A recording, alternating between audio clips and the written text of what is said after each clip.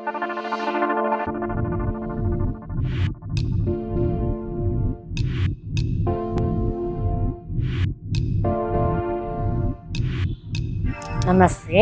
Welcomes to ವಿನ್ನಾಸ್ gardening ಇವತ್ತಿನ ದಿನ mustard cake. ಈ ಸಾಸಿವೆ ಕಾಳಿಂದ ಇದು ಎಣ್ಣೆ ತೆಗೆದಿರ್ತಾರೆ. ಅದರ ಪೌಡರ್ನ ಅದ್ರ ವೇಸ್ಟ್ನ ನಾವು ಇವಾಗ ಗಿಡಕ್ಕೆ ಯೂಸ್ ಮಾಡೋದು.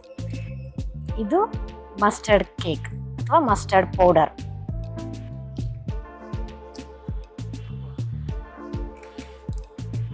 ಇದು ಮಸ್ಟರ್ಡ್ ಪೌಡರ್ ಇದು ಈ ಇದು ಪೌಡರ್ ಆಗಿದೆ ಈ ಥರ ಕೇಕ್ ಫಾರ್ಮೆಲ್ಲೂ ಬರುತ್ತೆ ಪೌಡರ್ ಫಾರ್ಮೆಲ್ಲೂ ಬರುತ್ತೆ. ಯಾವ್ದು ಬೇಕಾದರೂ ತೊಗೋಬೋದು ನಾವು. ಇದೆಲ್ಲ ನಿಮ್ಗೆ ಎಲ್ಲಿ ಸಿಕ್ಕತ್ತೆ ಅಂದರೆ ಈ ಗಾರ್ಡನ್ ಗೊಬ್ಬರ ಗಿಬ್ಬರ ಎಲ್ಲ ಮಾರ್ತಾರಲ್ವ? ಅಂಥ ಕಡೆನೂ ಸಿಕ್ಕುತ್ತೆ. ಆಮೇಲೆ ಗಿಡಗಳು ಸಿಕ್ಕುತ್ತಲ್ಲ ಅಂಥ ಕಡೆನೂ ನಿಮಗೆ ಸಿಕ್ಕುತ್ತೆ. ಇದು ತುಂಬಾ ಉಪಯೋಗ ನಮ್ಮ ಗಿಡಕ್ಕೆ. ಯಾವ ರೀತಿ ಅಂದರೆ ಇದನ್ನ ನಾವು ನೀರಲ್ಲಿ ನೆನೆಸ್ಬಿಟ್ಟು ಡೈರೆಕ್ಟ್ ಕೊಡಬಾರ್ದು. ಇದು ತುಂಬ ಸ್ಟ್ರಾಂಗ್ ಆಗಿರುತ್ತೆ. ಅದರಿಂದ ಇದು ಅಂದರೆ ಮಸ್ಟರ್ಡ್ ಕೇಕ್ನ ಮಸ್ಟರ್ಡ್ ಕೇಕ್ನ ನೀರಲ್ಲಿ ನೆನೆಸ್ಬಿಟ್ಟು ಮೂರಿಂದ ಐದು ದಿನ ನೀರಲ್ಲಿ ನೆನೆಸ್ಬಿಟ್ಟು ಆ ನೀರನ್ನ ನಾವು ಗಿಡಕ್ಕೆ ಕೊಟ್ಟರೆ ಅದಕ್ಕೆ ನೈಟ್ರೋಜನ್ನು ಫಾಸ್ಫರಸ್ಸು ಸಿಕ್ಕತ್ತೆ. ಆಮೇಲೆ ಪ್ರೋಟೀನ್, ಪ್ರೋಟೀನು ಅದೆಲ್ಲ ನಾವು ಎಕ್ಸ್ಟ್ರಾಗೆ ಕೊಡ್ಬೋದು. ಯಾವುದೋ ಒಂದು ರೀತಿಯಲ್ಲಿ ಕೊಡ್ತಾನೆ ಇರಬೇಕಲ್ವಾ? ಅದರಿಂದ ಈ ಈ ಮಸ್ಟರ್ಡ್ ಕೇಕ್ನ ಪೌಡ್ರ್ ಫಾರ್ಮ್ ಎಲ್ಲಾದರೂ ಮಾಡ್ಬೋದು. ಇಲ್ಲಾಂದರೆ ಇದನ್ನ ಡೈರೆಕ್ಟ್ ಇದೇ ಥರನೇ ಯೂಸ್ ಮಾಡ್ಬೋದು. ಪೌಡ್ರ್ ಆಗಲಿ, ಈ ಕೇಕ್ ಆಗಲಿ, ಯಾವುದೇ ಆಗಲಿ ನಾವು ನೀರಲ್ಲಿ ಡೈಲ್ಯೂಟ್ ಮಾಡಿನೇ ಹಾಕಬೇಕು. ಇದನ್ನು ಒಂದು ಹಿಡಿ ಪೌಡ್ರ್ ತೊಗೊಂಡ್ರೆ ಮೂರರಿಂದ ನಾಲ್ಕು ಲೀಟ್ರ್ ನೀರಲ್ಲಿ ನೆನೆಸ್ಬಿಟ್ಟು, ಐದು ಐದು ದಿನ ನೆನೆಸ್ಬಿಟ್ಟು, ಆಮೇಲೆ ಈ ನೀರನ್ನ ನಾವು ಗಿಡಕ್ಕೆ ಕೊಡಬೇಕು. ಈ ನೀರನ್ನ ಡೈರೆಕ್ಟ್ ಕೊಡಂಗಿಲ್ಲ ಗಿಡಕ್ಕೆ ಇದನ್ನ ಮತ್ತೆ ಡೈಲ್ಯೂಟ್ ಮಾಡಬೇಕು. ಒಂದು ಗ್ಲಾಸ್ ನೀರಿಗೆ ಹತ್ತು ಗ್ಲಾಸ್ ನೀರು ಮಿಕ್ಸ್ ಮಾಡಿಬಿಟ್ಟು ಮಸ್ಟರ್ಡ್ ನೀರು ಇರುತ್ತಲ್ವಾ, ಅದು ಒಂದು ಗ್ಲಾಸ್ ತೊಗೊಂಡ್ರೆ ಹತ್ತು ಗ್ಲಾಸ್ ನೀರನ್ನ ಮಿಕ್ಸ್ ಮಾಡಿ ಅದನ್ನು ಗಿಡಕ್ಕೆ ಹಾಕಬೇಕಾಗತ್ತೆ. ಆಯಿತಾ? ನೋಡಿ, ಇವಾಗ ನಾನು ಫೈವ್ ಡೇಸ್ ಬ್ಯಾಕೆ ನೆನೆಸಿಟ್ಟಿದ್ದೀನಿ ಇದನ್ನ.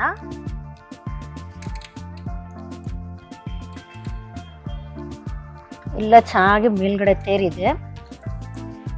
ನೋಡಿ, ಈ ಥರ ಇರುತ್ತೆ.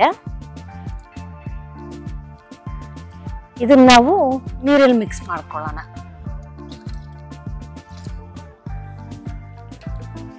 ನೋಡಿ, ಇಷ್ಟೇ. ನೀರಲ್ಲಿ ಮಿಕ್ಸ್ ಮಾಡಿಕೊಂಡು ಹೀಗೆ ಕೊಡಬೇಕು.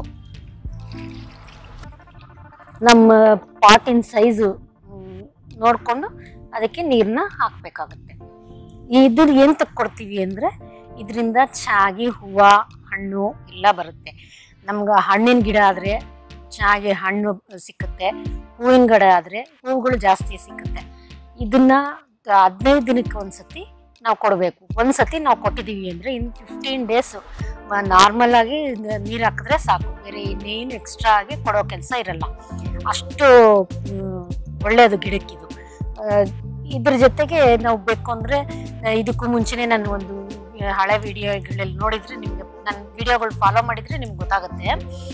ಬನಾನಾ ಪೀಲಿಂದು ಫರ್ಟಿಲೈಸರ್ ತೋರಿಸಿದ್ದೆ. ಅಲ್ಲಿ ಹೌದಲ್ವಾ? ಬನಾನಾ ಅದನ್ನು ಇದಕ್ಕೆ ಕೊಡ್ಬೋದು. ಬನಾನ ಸಿಪ್ಪೆನ ಒಣಗಿಸ್ಬಿಟ್ಟಾಗ್ಲಿ, ನೀರಲ್ಲಿ ನೆನೆಸಿ ಆಗಲಿ ಕಟ್ ಮಾಡಿಬಿಟ್ಟಾಗಲಿ ಹೇಗೆ ಬೇಕಾದರೂ ನಾವು ಕೊಡ್ಬೋದು ಅಂತ ಹೇಳಿದ್ದೆ. ಆ ಥರ ಕೊಡ್ಬೋದು. ಇದೆಲ್ಲ ಕೊಡ್ತಾ ಇದ್ರೆ ನಾವು ಗಿಡಕ್ಕೆ ಏನು ಸಿಕ್ಕುತ್ತೆ? N P K, nitrogen, phosphorus potassium ಸಿಕ್ಕುತ್ತೆ. ಪೊಟ್ಯಾಷಿಯಮ್ ಯಾವುದರಿಂದ ಬರುತ್ತೆ? ಬನಾನಾ ಪಿಲ್ಲಿಂದ ಬರುತ್ತೆ. ಅದರಿಂದ ಇದು ಇದರಲ್ಲಿ ನೈಟ್ರೋಜನ್ ಫಾಸ್ಫರಸ್ ಸಿಗುತ್ತೆ. ನಾವು ಗಿಡಗಳಿಗೆ ಎಷ್ಟು ನೈಟ್ರೋಜನ್ ಕೊಡ್ತೀವೋ ಅದು ನಮ್ಗೆ ಆಕ್ಸಿಜನ್ ಬರುತ್ತೆ, ಕೊಡುತ್ತಲ್ವಾ? ಇದೆಲ್ಲರಿಗೂ ಗೊತ್ತಿರೋದೆ ಎಲ್ಲ ಮಕ್ಳಿಗೂ ಗೊತ್ತಿರುತ್ತೆ, ದೊಡ್ಡವ್ರಿಗೂ ಗೊತ್ತಿರುತ್ತೆ, ಎಲ್ಲ ಓದಿರ್ತೀವಲ್ವಾ ಸ್ಕೂಲಲ್ಲೆಲ್ಲ ಗೊತ್ತೇ ಇರುತ್ತೆ. ಅದರಿಂದ ನಾವು ಗಿಡಕ್ಕೆ ಯಾವಾಗಲೂ ನೈಟ್ರೋಜನ್ ಸಪ್ಲೈ ಜಾಸ್ತಿ ಕೊಡಬೇಕು. ನೈಟ್ರೋಜನ್ ಸಪ್ಲೈ ಕೊಟ್ ಸಪ್ಲಿಮೆಂಟ್ರಿ ಕೊಡ್ತಾ ಇದ್ದರೆ ನಮಗೆ ಆಕ್ಸಿಜನ್ ಕೊಡ್ತಾ ಇರುತ್ತೆ. ಆಯ್ತಲ್ಲ? ಆಕ್ ಬರೀ ಆಕ್ಸಿಜನ್ನೇ ಅಲ್ಲ. ಅದರಿಂದ ನಮಗೆ ಒಳ್ಳೆ ಹಣ್ಣು, ಹೂವು, ತರಕಾರಿನೂ ಬರುತ್ತೆ. ಆದ್ದರಿಂದ ನಾವು ಇದನ್ನ ಕೊಡಬೇಕು. ಸಾಧ್ಯವಾದಷ್ಟು ಎಲ್ಲ ಗಿಡ ಕಡಿಮೆ ಇದ್ರೂ ಸರಿ. ಗಿಡ ಕಡಿಮೆ ಇದ್ದರೆ ನೀವು ಬನಾನಾ ಪೀಲಿಂದ ಕೊಡಿ ಆನಿಯನ್ ಪೀಲಿಂದ ಕೊಡಿ. ಈ ಥರ ನಾನು ಎಷ್ಟು, ಇನ್ನೂ ಮುಂದಕ್ಕೆ ಹೇಳ್ತಾ ಇರ್ತೀನಿ. ಇನ್ನೂ ತುಂಬ ಫರ್ಟಿಲೈಸರ್ಸ್ ಇದೆ. ನಾವು ಗಿಡಕ್ಕೆ ಕೊಡೋದು. ಒಂದೊಂದು ಸತಿ ಒಂದೊಂದು ತಿಳಿಸ್ತೀನಿ. ಯಾಕಂದರೆ ಒಂದೇ ಸ, ಒಂದೇ ವಿಡಿಯೋಲಿ ಇಲ್ಲ ಹೇಳಿದ್ರೆ ಕನ್ಫ್ಯೂಸ್ ಆಗುತ್ತೆ. ಅದರಿಂದ ನಾನು ಇವಾಗ ಇದನ್ನ ಹೇಳಿದ್ದೀನಿ ನೀವು ನಿಮ್ಮ ಮನೆ ಹತ್ರ ಇರೋ ಫರ್ಟಿಲೈಸರ್ ಅಂಗಡಿಗೆ ಹೋಗ್ಬಿಟ್ಟು, ಇಲ್ಲಾಂದ್ರೆ ಗಿಡ ಮಾರ್ತಾರಲ್ವ, ಅಲ್ಲಿ ಹೋಗಿ ತಗೋಬೋದು. ಆಯ್ತಲ್ಲ? ನಿಮ್ಗೆ ಈ ವಿಡಿಯೋ ಇಷ್ಟ ಆಗಿದ್ರೆ ಲೈಕ್ ಮಾಡಿ ಶೇರ್ ಮಾಡಿ ಸಬ್ಸ್ಕ್ರೈಬ್ ಮಾಡಿ, ಹಾಗೆ ಮೇಲಿರೋ ಬೆಲ್ಲೈಕನ್ನ ಒತ್ತಿ. ಬರೋಣ? ಬಾಯ್